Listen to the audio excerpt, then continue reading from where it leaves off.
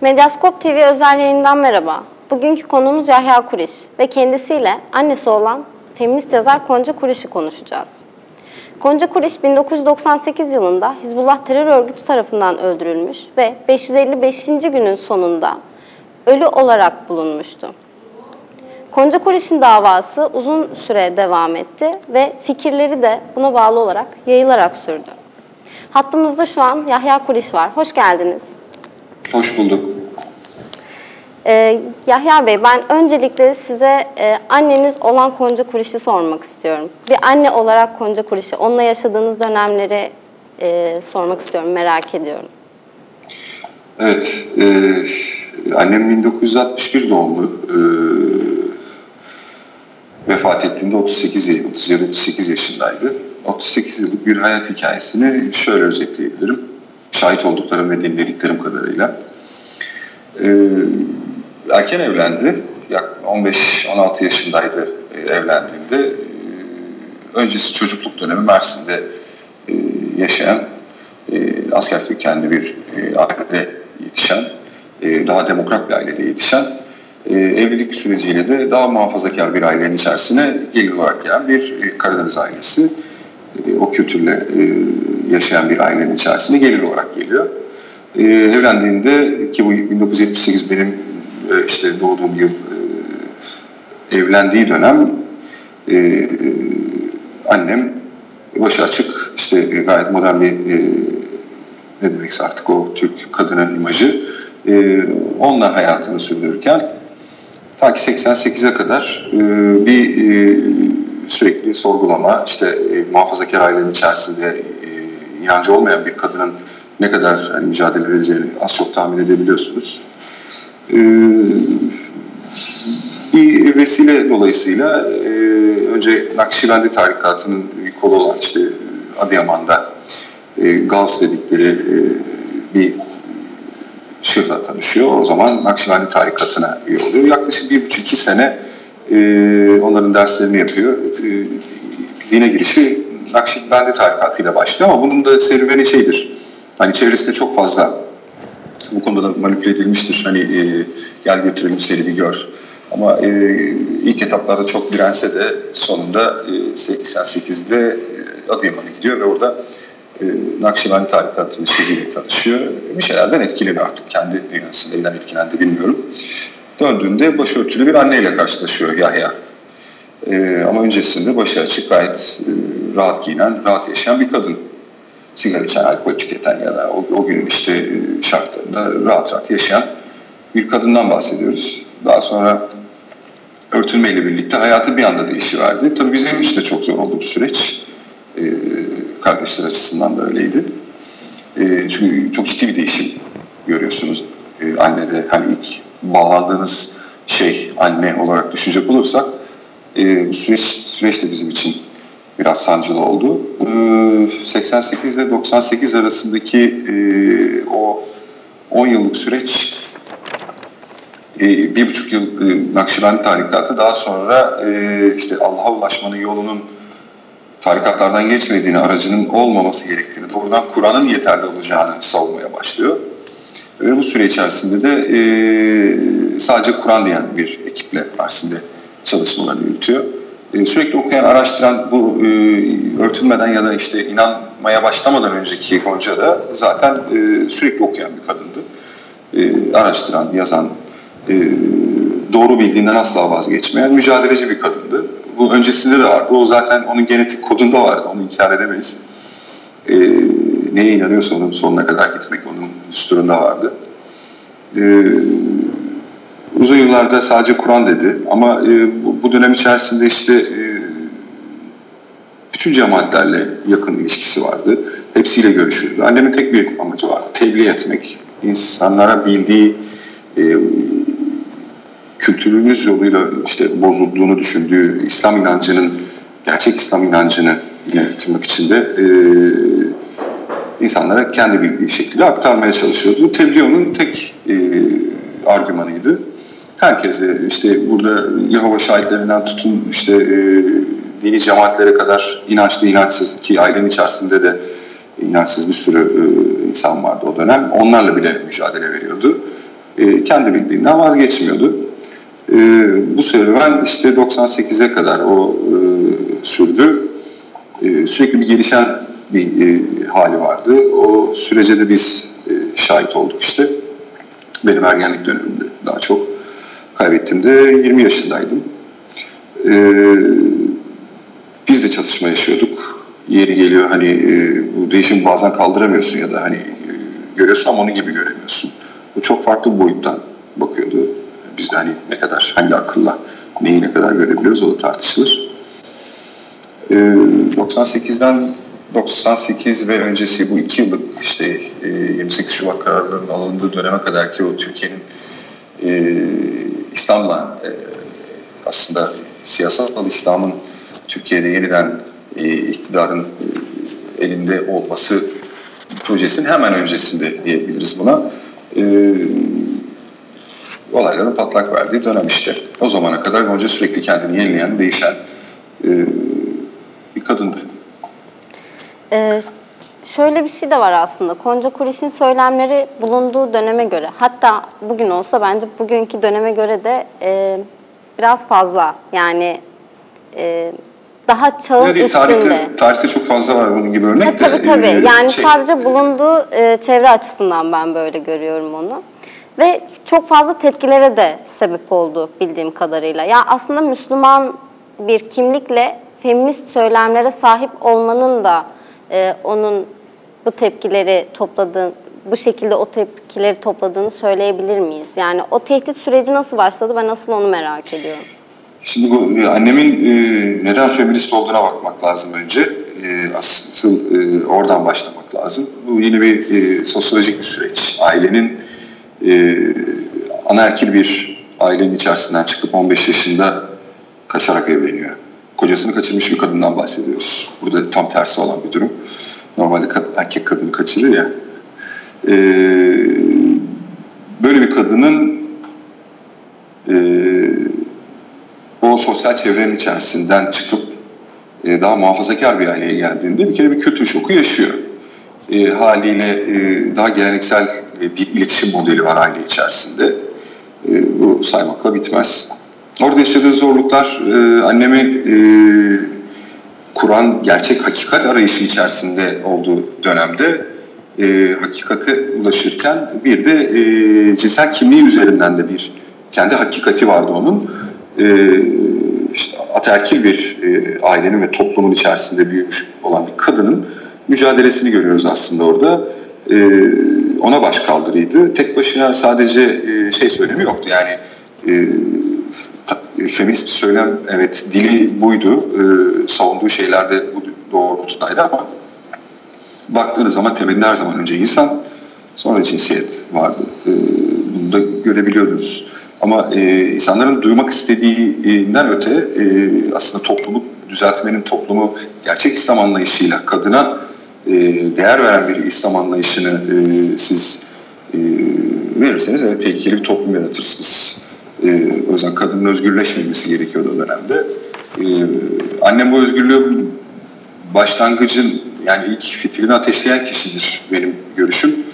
E, ondan sonra evet bunlar sorgulanmaya, konuşulmaya başlandı. E, ama dediğim gibi e, feminist mücadele e, daha son 3-4 yılını kapsıyor. Ondan önce e, bu dediğim gibi biraz önce de bahsettiğim tarikatların yani dinin ne olduğunu yaşanan birçok tarikatın din algısını da inceleyerek hakikatin peşinden koşma. E, bunun içerisinde evet, cinsel kimliği de vardı, kadındı her şeyden önce. E, kendini orada var etti. E, yanlış mıydı? Hayır, kesinlikle. E, Türkiye'de bir uyanışa sebep oldu. E, ben bunun öyle olduğunu düşünüyorum. E, hala konuşulabiliyorsa, hala onun fikirleri e, bugünümüzde ne kadar tartışılamaz olsa bile e, o dönem başörtüsü tartışılıyordu. O dönem adetli kadının namaz kılabilmesi tartışılıyordu. Erkekle kadının aynı e, safta e, namaz kılabileceğini, ibadetlerini birlikte yapabileceklerini savunabiliyordu. Bugün mümkün değil tabii ki bunları konuşmak. Biraz önce bahsettiğimde aslında oydu. Yani e, ya bugün bile olsa bugüne bile fazla olacak dediğim şey aslında e, hatta Konca Kuriş'e söylenen e, şeylerden biri de dişi Yaşar Nuri. Hani bu tarz yaftalamalarda da bulunuyordu insanlar bildiğim kadarıyla. Bizde hiç sevmez bu söylen, söylem yalnız dikkat edin. dişi Yaşar Nuri bir erkeğe benzetti. Neyse bu işin. yani, ee, e, ya ben sadece o dönem Yaşar Hoca'nın, pardon. Hayır kusur, ben özür dilerim. Ya sadece Yok, o dönemde benim bildiğim e, etiketlemelerden biri buydu. Ben o yüzden söyledim bunu da. Yani, e, ikisi de rahmetli oldu. Arkalarından konuşmak gibi olmasın ama e, ben canlı şahit olduğum Mersin'de burada bir otelde e, panel öncesinde bir sohbetlerini hatırlıyorum. Sonra televizyon kanalında canlı yayındayken bunu sorduğumda Yaşar Hoca mecburen bunu e, reddetmek zorunda kalmıştı. O onu daha uzun yaşattı aslında bu ülkede. E, ibadetimi Türkçe kılıyorum. Ne diyorsun hocam? Sen ne düşünüyorsun bu konuda dedi. O da hangi dilde kılmayı düşünüyorsun ki zaten dedi. Yani Türkçe biliyorsun ve Türkçe kılmalısın. Tabii ki doğruyu yapıyorsun. Ama toplum buna hazır değil Gonca demişti. Ama annem tabii ki e, o bildiği doğrudan asla vazgeçmez. E, dilsiz şeytanlık yapmaktan hiç hoşlanmaz. Neyse onu söyler. O da televizyonda ona sorulduğunda bunu söyledi. E, ama hoca inkar etti mesela. Benim yaşadığım şeydi bu. E, ben böyle bir şey söylemedim dedi ama bu benim yanımda gerçekleşti. Toplum buna hazır değil. Evet toplumun hazır olduğu zaman bazı şeyler söylenebilir. Ee, Yaşar Nuri benzetmesi, e, Yaşar Nuri e, çok severim, sayarım ama e, bir gonca kuruş şey olamaz yani bu konuda. O anlamda doğru bir benzetme değil. Peki o tehdit süreci nasıldı? Yani e, çok yoğun bir tehdit alıyor muydu Konca Kuliş veya nasıl e, güvenliğini e, Aslında 94-95 95-94'teki kadın sempozyumuyla başladı bu hikaye. E, ilk kadın e, hareketi, feminist Müslüman kadın hareketinin başlangıcı ne kadar o, o bunu deklar etmese de e, hayatındaki değişimler ve dilindeki o söylemlerin değişiminden anlıyorsunuz. E, bunu şimdiki aklımla tabii ki e, itirak edebiliyorum. E, ilk çıkışları orada başladı bir panelde. E, ayetleri yeniden yorum diyorum. Bakın yazmaktan bahsetmiyorum. Bu bambaşka bir şey. E, erkek egemen toplum tarafından çevrildiği için erkekler işine geldiği gibi çeviriyor. Çevirilerde hata var. Bunun düzeltilmesi gerekiyor ve İslam hukukunda kadının yerinin tekrardan masaya yatırılması. İşte bunun miras hukuku, aile içerisindeki e, hukuku keza toplumdaki yeri e, bunların hepsinin masaya yatırılması gerektiğini iddia ediyordu. E, orada biri çıktı işte, çok net hatırlıyorum olayı. E, sen dini değiştirmek gibi bir niyetim var? Annem ki ha öyle bir şey söz konusu değil. Ben sadece çevirilerin e, erkekler tarafından yapıldığı için yani ayetin baktığı zaman Arapçada başka bir anlam ifade ediyor e, ki keza başörtüsü konusunda ki iddiaları da buydu. Çevirinde çevir, farklı bir e, dil kullanılıyor. Çeviri hatası var orada. O yüzden başörtüsü, geniş elbise demesi gerektiği yerde başörtüsü diye çeviriyor adam. Buna itiraz ediyor. Evet, savaş ayetleri, savaşa vesile ayetlerle gidin. Yani sen bugün bunu yapamazsın, kafana füzeyi yersin. Hani e, bunu güncellemen gerekiyor. Hani tamam hani bu değildir oturup bunlarla uğraşmak değil ama e, sonuçta bir insanın hayatına o daha e, toplum mühendisliği, e, yasa yaz, yazmak başka bir şey ama e, insana dair yasayı e, İslam'da Allah verirler. E, onun koyduğu yasa doğrudur. Bu kabul edilir. E, ama onun evrensel olması gerekiyorsa e, günümüze bazı şekilde uyarlanması gerektiğini savunuyordu. Bu Kur'an'ı değiştirmek değil öyle algılanmasın. Ee, orada bir tehdit geldi işte. ilk tehdidi o zaman almıştı. Sen canına musadın, kadın ne demek istiyorsun gibi. Annem de ne kadar anlatmaya çalışsa da e, insanlar bunu anlamamıştı o zaman. Ki ta ki 98'e geldiğimizde en son Nisan ayı falan herhalde öyle hatırlıyorum. Ben finaller bitmişti. Üniversitede birinci sınıf öğrencisiydim. E, Mersin'e geldiğimde annem bana bu e, televizyondaki bir programdan dolayı e, hatta Arda Hazen Türk'ün programıydı öyle hatırlıyorum. E, Adem ve Havva kavramını konuşuyorlar. Annem hani bunu bir tekil bir canlı üzerinden düşünme. Hani Adem orada bir hani insanlığın tamamına bazı ayetlerde insanlığın tamamı olarak insanlık olarak söylüyor. E, Havva'da dişi, dişil kavram. E, tabii toplumun kavramsal düzeyde aç, açamadığı için zihninde e, aa peygamber değil mi Adem gibi bir şey oluştu. Ee, annem bunu düzeltmeye çalıştı ama e, televizyon moderatörü, o programın moderatörü, ana haber bültenini sunan e, o zaman Kanal 6'ydı. E, biz bundan şunu mu anlıyoruz? Peygamber, Hazreti Adem peygamber değil mi cümlesini kurduktan sonra dakikalar sonra eve telefonlar gelmeye başladı. Yani e, burada da bir gazetecilik örneği yaşadık aslında Türkiye'deki. E, işte sonra daha hani e, bir yukarıdan baskı gelmeye başladı, ölüm tehditleri. Hatta bu bizim e, annemin, babamın ailesinden de hani e, dedeme gelirini sustur ne diyor. Hani çoğu tarikat üyesi baktığınız zaman Nakşibendi, Süleymancı e, aile içerisinde görürsünüz. Kendilerine ait hissettikleri yerde, yerlerdeler. E, onlarda da şey yani e, Gonca konuşması çıkmasın televizyona. Bütün baskılar orada da vardı ama e, hayatını tehdit eden unsurlar daha çok dediğim gibi e, Nisan ayındaki o Ardan Zentürk'ün programından, haber programından sonra gelen tehdit idi.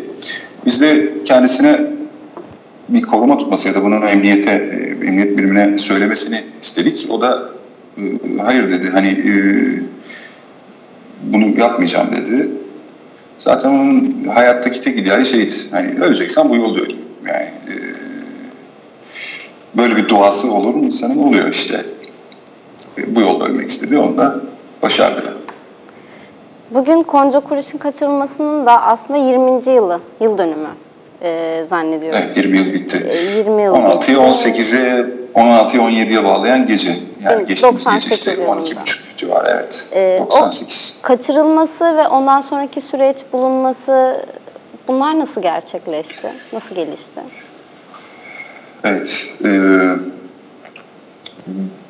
açıkçası e, yazılan bu konuda e, anlatılan çok fa- farklı hikayeler var. Ben bununla ilgili bir röportaj vermiştim Ot dergisine. E, daha geniş kapsamlı, e, daha doğru bilgiler e, içeriyor. E, ben öncelikle şunu belirtmek istiyorum. Annem hiçbir zaman Hizbullah örgütüne üye değildi. Böyle bir gerçek yok. Örgüt içi hesaplaşma işte gibi şeyler de söylendi. Hiçbir zaman üye olmadı. Çünkü annem kendine Hizbullah diyordu. Hizbullah'ın kavram karşılığı siz de biliyorsunuz. Allah'ın askeri demek. İnanan gerçekten hani bir dönem hayatında e, o sadece Kur'an dediği dönemde siz ayetle karşılaşıyorsunuz. Kendisini Allah yolunda e, savaşanlar ve hani e, kendini o yolda e, asker olarak görenler. Asker demek insan öldürmek değil, tebliğ etmek de bu konuda bir askerliktir. Yani e, yani erlik yapmak, emir eri olmak gibi düşünmek lazım. Onun çünkü mantığı oydu. Bu yolda e, hayatını sürdüreceğim. O yüzden e, ben Hizbullah'ım derdi. Bundan da çekinmezdi. Ama bunun örgütle hiçbir zaman alakası yoktu. Çevremde, çevresinde evet e, sempati duyduğu birkaç e, arkadaşı vardı. Annem Yehova şahitleriyle de görüşüyordu. Yani e, cemaatlerle de görüşüyordu. Hepsiyle annemi hiçbir zaman bir Hristiyan yapmadılar veya e, bir Nakşi ya da bir Nur cemaati üyesi olmadı. E, eskiden Nakşiydi tamam bunu kabul ediyorum ama e, onlarla oturup bunu konuşabiliyordu. Evet fanatik insanlar da vardı çevresinde. Annemin amacı hep onları doğru, kendi bildiği doğru yoluna iletmekti. Hep bu yönde telkinde bulunuyordu. E, açıkçası e, bunu o yüzden düzeltmek gerekiyor. E, Hizbullah örgütüne üye değildi. Hiçbir zaman da olmadı. Ve bunu eleştiriyordu son dönemlerinde. E, zaten tehdidin oluşma sebeplerinden bir tanesi de e, annemi takip eden, bilen o kadar çok kadın vardı ki siz evin içerisinde örgütlenmeye başlarsanız, önce kadını bu konuda e, bilinçlendirirseniz e, orada müdahaleniz başlar. E, annem bunu yaratmıştı. Çünkü kadın bilinçlenmeye başlamıştı. Haremlik seramlık yapmamaya, erkeklerle tokalaşmaya, e, ne bileyim işte onun dışında kadının e, sosyal hayatta daha fazla e, kendini göstermeye başladığı dönem e, bu örgüt içerisinden kopmalardan tut da e, işte ben artık böyle düşünmüyorum demeye başlarsa insanlar yani siz de şunu düşünürsünüz. Bu benim için bir tehdit. Annem için söylüyorum. E, tehditler bunun üzerinden geldi daha çok. Yani söyledikleri. Evet e, bunun hani siyasi boyutları da var. Hiç oralara girmeye gerek yok şu an. Hani kimin neyin ne olduğunu da biliyoruz şu dönem. Ama e, dediğim gibi bir örgütün ne üyesi olduğu ne mensubuydu. Yani konuda e, bir söylemi bile olmadı. E, herkes oturup kalktığı için insanlar da e, işte örgüt içi hesaplaşma bile denildi. Ama dediğim gibi hiçbir zaman üyesi değildi. Hizbullah'la alakası bile yoktu.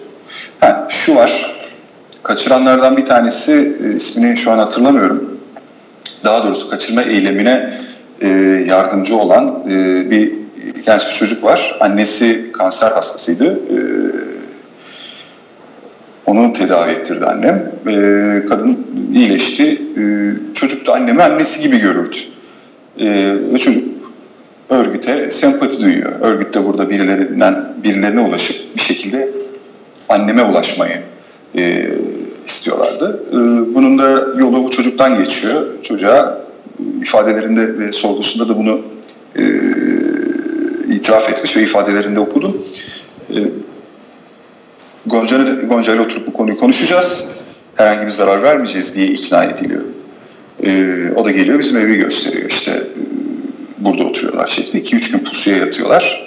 Eylem öyle gerçekleşiyor. Asıl niyetleri hatta Mehmet Emin İkici'nin ifadelerinde de var. Ee, annemi öldüren e, öldüremiyor. Yaklaşık 5-6 ay yaşıyor. Ee, o evde tutuyorlar. Ee, öldürmesi için başka birini gönderiyorlar. Ee, her gelen, ondan sonra biri daha geliyor. Her gelen e, annemi öldüremiyor. Yani bir şekilde orada yine te, şey, işine devam ediyor anlamda. Hani e, yaptığınız şey doğru olmadığı zaten kayıtlarda da emniyetteki videolarda yanlış hatırlamıyorsam e, şey e, videonun çekim tarihiyle annemin işte bu e, kaçırıldığı tarih arasında yaklaşık 5-6 aylık bir süreç var. E, hemen öldürülemiyor. Anlıyorum. Yani aslında o dönemki şeyler de sizin biraz önce söylediğiniz gibi e, Konca Kuriş'in özellikle değinmek istediğim nokta Hizbullah üyesi oldu ve örgüt içi hesaplaşmalarının olduğu yöndeydi. Evet, Hürriyet'in, işte Milliyet'in haberleri genellikle bu yöndeydi ve e, muhtemelen yani muhtemelen yok kesin olarak e, Konca Kuriş'in işkence altında söylediği, videolardaki, kayıtlardaki söylediği sözlerin haber değeri taşımasıydı. Aslında orada da bir e, gazetecilik yani medya üzerinde yani medyanın konca kurişi farklı çarpıtarak yönlen, göstermesi anlamında bir şey olduğunu söyleyebilir miyiz? Tabii ki. E, yani bununla ilgili e, o kadar çok haber çarpıtıldı ki yani internette bakın hala şeye yani buna nasıl gazetecilik diyebilirsiniz? Bugün haber yapsınlar hala annemin doğum tarihi 1960 yaparlar. Kaçırılma tarihi de 99 yaparlar. Yani bu bilgiyi bile sağlıklı e, edinemeyen bir araştırmacı gazeteci nasıl gazeteci olabilir? Yani e, e, Ruşen Bey e, de bu konuda hani bir yazısı var hatırlıyorum. Yani ender e, doğru tarihlerden birini verir. E, 61 ve 98 olarak. Ama e, bunun çarpıtıldığından eminim. Şundan dolayı eminim. E, o dönemki Türkiye'ye baktığınızda şeyi görebiliyorsunuz. Ee, Batı bu anlamda siyasal İslamcılarla çalışma hevesi içerisinde. İşte 28 Şubat kararları alınmış. Ee, işte e, ülkede yönetimde değişiklikler söz konusu olacak. 98-99 ee, sürecinden bahsediyoruz. Annem e, siyasal İslamcıların e, önünde bir engeldi. Bunu görebiliyoruz. Bugün bile görebiliyoruz. E, bugün bunun konuşamamanın sebebi 98'de bunu söyleyen biri işine yaramaz. Yani e, kadının varlığı rahatsız edecek. Yani e, Yaşar Nuri nasıl toplumu bir süre bu konuda e, fikirleriyle yönlendirebildiyse bu kadın da e, bunu yapabilecek. E, işte bir e, inanan kadın modeli oluşturmak, mücadele eden e, kendi kimliği, başörtüsü var veya yok onu tartışmıyorum yani e, fiziksel olarak görüntüsünün önemi yok. E, diyelim yani bir mücadele varsa doğru veya yanlış bir şeyin içinde e, ama o mücadeleyi sürdürecek e, dirençli kadın imajı e, siyasal İslam'ın içine gelmez. E, Gonca bunu tetikliyordu. E, son olarak da şöyle bir şey var. Hukuki sürece özellikle değinmek istiyorum. 2000 yılında Beykoz Operasyonu kapsamında e, Hizbullah'ın hücre evlerine operasyonlar düzenlenmişti ve e, birçok işte ele başından örgüt üyelerine kadar birçok kişi de alınmıştı. Birçok da kayıtlara ulaşılmıştı. E, daha sonra 2011 yılında e, tutukluluk sürelerini kısaltan bir yasayla da yine birçok e, Hizbullah üyesi, Hizbullah terör örgütü üyesi e, serbest kalmıştı. Konca Kuriş'in davası burada hangi noktadaydı? Pardon son cümleni anlayamadım. Konca Kuriş'in davası yani onun katili e, bu davada hangi noktadaydı, ne durumdaydı, ne konumdaydı? Ha, bildiğim kadarıyla çünkü birçok örgüt üyesi iyi hal indirimiyle de çıkmıştı. Şimdi e, örgüt yani Hizbullah'ın kuruluşuna bakmak lazım. E, 80'lerin sonu 90'ların başında işte e, Doğu'da PKK ile savaşması için kurulan e, Hizbu kontrolü altında bir örgüt. JITEM karargahlarında eğitimleri verildiği, yani bunun çağrıcı kardeşi İrfan Çağrıcı'nın da bunun için, işin içinde olduğuna dair e, devletin doğrudan hani e, kaynakları bunu doğruluyor. Birçok gazeteci bununla ilgili e, kitapta yazdı. Yani, e, devletin güdümünde olan bir örgüt devletin aslında e, kontrolünde hala.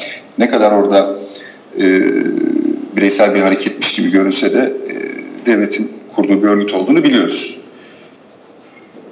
Sonraki süreçte e, haliyle e, Hizbullah e, bireysel eylemleriyle kontrolünden çıktı.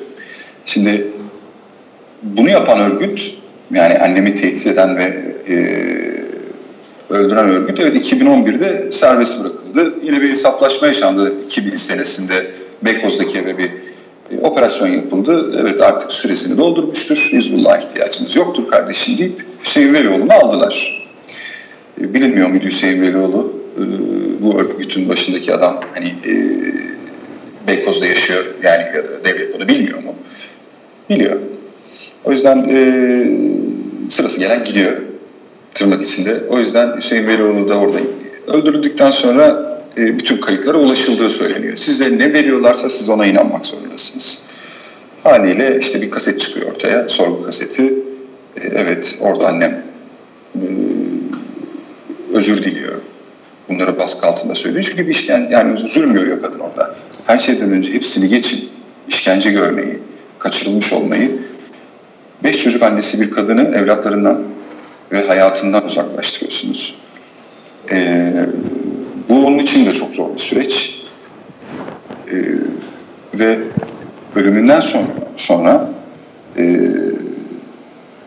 biz evet 555 gün sonra annemi Konya'da bulduktan sonraki süreçte e, bütün işkenceciler, e, işte katiller ya da işte örgüt liderleri, işte şehir yapılanmasındaki işte tepedeki adamlar kim olursa olsun hepsini yakaladıklarını söylediler. 2011'de tekrar ihtiyaç duyuldu. O yüzden serbest kaldılar. Bir kısmı tekrar yakalandı. Bu benim kişisel görüşümdür. Ee, bir kısmı hala dışarıda serbest. Dava süreci devletin elinde. Herhangi bir dava söz konusu bile devlet dava açtı. Ee, kamu davasıydı. O Hizbullah davası içerisinde annemin davası görüldü. Ama biz bir dava açmadık. O dönem e, devlet bu işi e, kendi pisini kendi temizledi diyebiliriz. Peki çok teşekkür ederim. Çok güzel bir yayın oldu. Çok sağ olun. Görüşmek üzere. Görüşmek üzere. Ee, bugünkü yayınımızın sonuna geldik ve bugün Konca Kuriş'i konuştuk. Konca Kuriş'in ölümünün, daha doğrusu kaçırılmasının 20. yılıydı bugün. Bugün daha doğrusu 20. yılını bitirmiş oldu. Ee, başta söylediğimiz gibi Konca Kuriş Müslüman çevre içerisinde e, feminist söylemleriyle bilinen, daha doğrusu feminist söylemleriyle tepki çeken bir yazardı ve e, bunun sonrasında, bu sürecin sonrasında Hizbullah tarafından da öldürülmüştü. Çok dayanılmaz işkencelerle e, öldürülmüştü. E, oğlu Yahya Kuriş'le birlikte bugün bir yayın yaparak Konca Kuriş'i ölüme götüren süreç, ölümünden sonraki süreç, e, etkilediği bir kitle olan feminist, Müslüman feminist kadınları konuştuk. Hoşçakalın. İyi günler.